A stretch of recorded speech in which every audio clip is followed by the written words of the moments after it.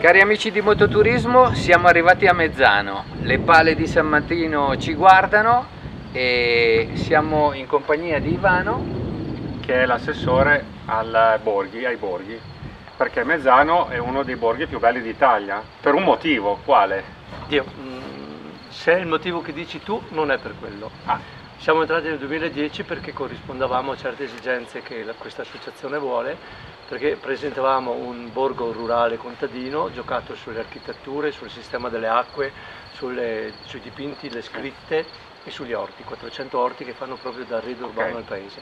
Però il salto di qualità anche dal punto di vista turistico, seppur già iniziato con un'entrata nei borghi, è proprio venuto con un'idea tutto sommato credo molto, molto importante, che è quella delle cataste senza dubbio originale perché... Originale perché credo non ce ne sia al mondo proprio Certo, di, di cose certo. di questo tipo. Cataste, vale a dire i ciocchi di legna targati e tagliati per farne provvigione per l'inverno. Cataste come queste, qui, Esatto. Abbiamo preso questi pezzi di legno, abbiamo chiesto a degli artisti, prima qui del nostro valle, poi uscendo anche con delle scuole d'arte, piuttosto che qualche altro artista affermato, di costruire delle cataste artistiche. Finora ne, ne sono state fatte e realizzate 32, alcune anche con materiali che uniscono il ciocco di legno ad altre, tipo la pietra, il ferro ed altro, ma comunque hanno il denominatore comune di valorizzare questo modo di fare la scorta per l'inverno, perché tutte le case, se avete occasione di vederle, in questo periodo sono proprio al minimo sindacale di legna. Perché? Perché durante l'inverno sono state bruciate i Certo. ciocchi di legna. Ora il bosco, taglio, verranno poi fatti a pezzi e accatastate, ognuno per- con il suo metodo, per appunto aspettare il prossimo inverno. Ho capito. Ivano, ho sentito parlare della Mezzano romantica, in che cosa consiste? Eh, questo è un brand che è nato quattro anni fa e praticamente artisti in residenza, in poche parole. È un po', si è evoluto perché la residenza si è eh, dire, amplificata di numero perché quest'anno avremo credo come 200 giovani artisti che provengono essenzialmente dall'America e ci fanno un cartellone tra il musical, opere, musica classica e strumentistica che è di 52 appuntamenti, a cui si uniscono anche quattro pièce teatrali in un fienile, per cui ce n'è veramente per tutti i gusti. Per cui il romanticismo di un paese legato alla religiosità, all'agricoltura, alla- all'ambiente, alla famiglia eh, è come esasperato dalle note musicali che sicuramente ogni sera leggeranno nell'aria. Bene. E, mh, so, tra l'altro eh, Mezzano si trova comunque in un contesto naturale molto bello. Eh, so che qui c'è la Val Noana per esempio, che è una valle molto particolare, una valle stretta con un canyon spettacolare, tante possibilità di escursioni, quindi direi anche dal punto di vista di vivere la natura, diciamo Mezzano si trova un po' nel cuore di una zona importante. è chiaro, eh, qui c'è solo l'imbarazzo della, della scelta, è chiaro che viviamo all'interno di un contesto di valle per cui tutti i sentieri portano altrove e, e conducono anche qui. Però come hai detto tu, eh, Val Noana è particolare perché ha innanzitutto una vegetazione, ma la vedrete, con degli alberi assolutamente eh, I famosi abeti Abeti giganti. giganti, e poi anche altri tipi di, di- di- di alberi, ma poi anche proprio il discorso del, del- del- canyon che, che entra, il fatto che si riferisce anche alla, alla fornitura di energia elettrica con la diga, quindi tutte cose tra virgolette naturali che fanno questo contesto assolutamente non unico perché non può essere assolutamente unico, ma particolarmente amabile da viverci. Perfetto.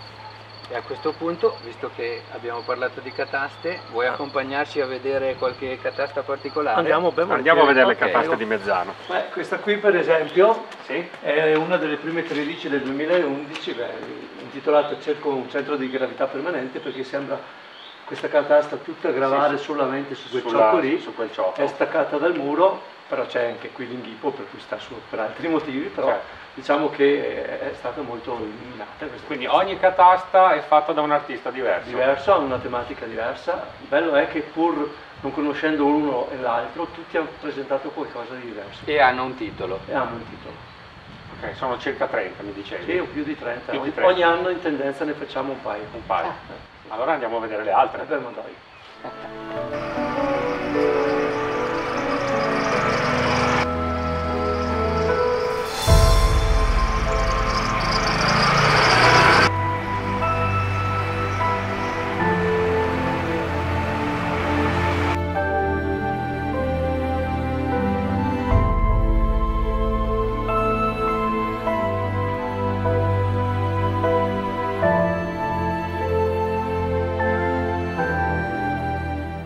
amici di Mototurismo, siamo a Mezzano di Primiero e siamo venuti in un luogo piuttosto caratteristico. È un antico laboratorio di tessitura, si chiama Artelair, eh, condotto da Lucia e Zitta, e che sono le due persone che hanno ereditato questa antica attività e adesso ci spiegano un pochino di che cosa si tratta.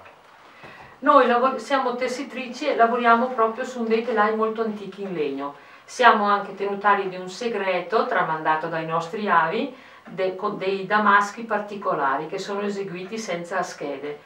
E abbiamo un po' eh, reso attuale questo lavoro che sembra antico usando materiali diversi, sete, cashmere, lini pregiati, facciamo cose uniche e probabilmente riusciamo a lavorare perché anche c'è qualità e unicità. Quindi un uh, laboratorio molto particolare, anzi direi una tipicità del, del, territorio, possiamo dire anche di tutto il Trentino. sì, quello senz'altro. Perfetto, grazie mille.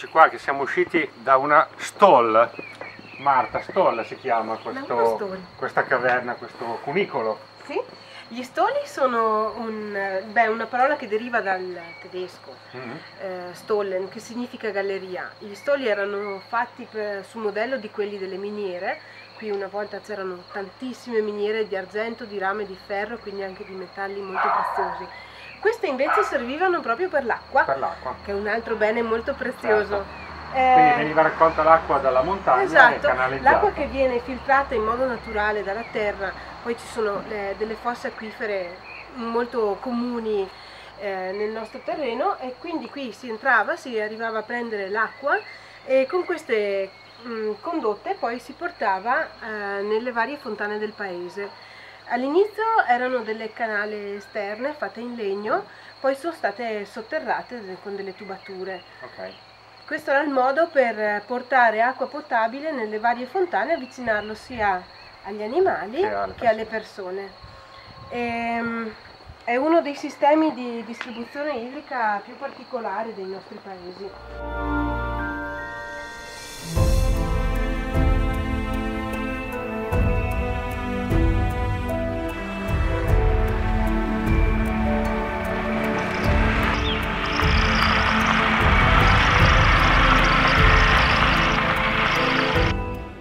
Mototurismo ci troviamo in un luogo davvero eccezionale. Abbiamo risalito tutta la Val Noana lungo una strada davvero favolosa per i panorami e anche per la guida e adesso ci troviamo al punto panoramico di Valpiana dove c'è davvero uno spettacolo incredibile, vero Ferruccio? Esatto, da questo punto noi possiamo notare tutta la catena eh, del lago Rai, possiamo vedere le pale di San Martino, sullo sfondo il Cimon della Pala e dopo vediamo anche tutte le vette feltrine, che è la prima catena dopo la pianura verso la montagna. Ho capito.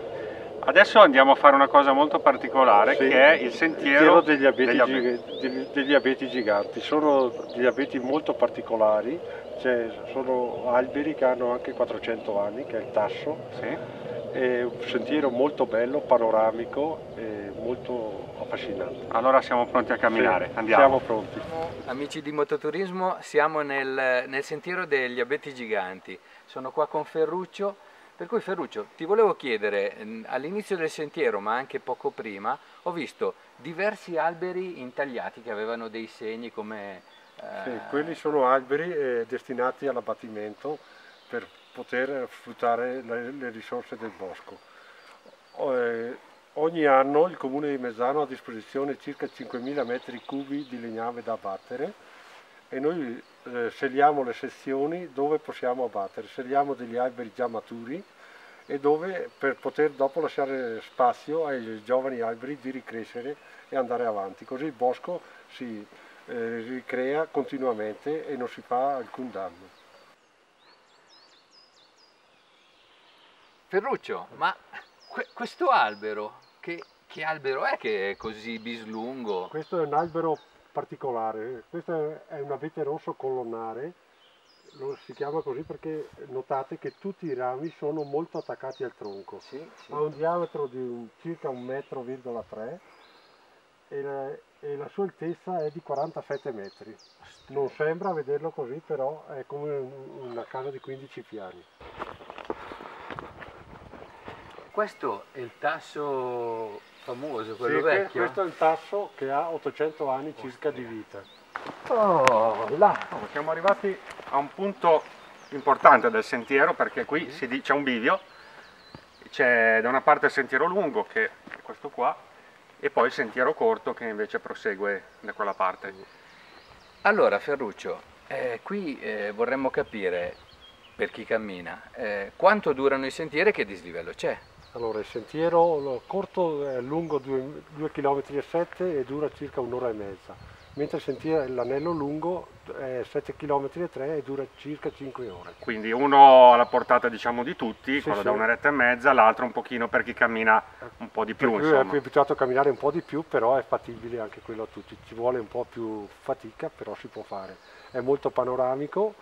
Per eh, altre informazioni si può prendere la cartina, che è questa, che Sì. si trova presso il centro informazioni a Mezzano, oppure sugli alberghi o sulle bacheche. Che Dove sono segnati tutti i esatto, sentieri con dove le c'è tutti i sentieri e tutte le particolarità dei sentieri.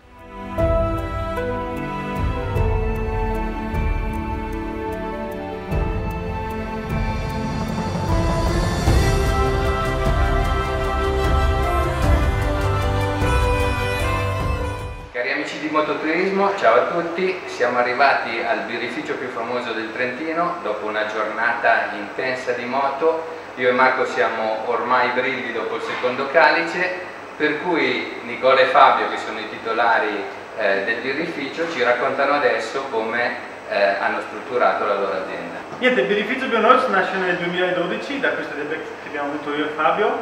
Nel 2013 abbiamo cominciato a produrre birre qui a Mezzano. Di birre ne produciamo tante, la cosa bella che posso dire del birrificio è che ormai da più di due anni siamo autosufficienti con quello che è tutta la produzione della materia prima del- della parte del luppolo. Abbiamo due luppoletti, uno qui in Primiero, l'altro in Valsugana, che ci permettono di produrre tutte le birre che facciamo. Noi ormai abbiamo una dozzina di ricette diverse e niente. Mi pare che, eh, se ho capito bene, questo è il il micro birrificio più importante del Trentino. Ma abbiamo vinto per tre volte consecutive, per tre anni consecutivi, il premio come miglior birrificio del Trentino. Tra l'altro quest'anno abbiamo anche avuto ulteriori conferme a livello nazionale, quindi sì. Lo possiamo dire. Ma toglimi una curiosità, ho visto lì il luppolo grezzo, eh, siccome ho la moglie che va matta per le birrerie con tanti luppoli, com'è la, la storia dei luppoli?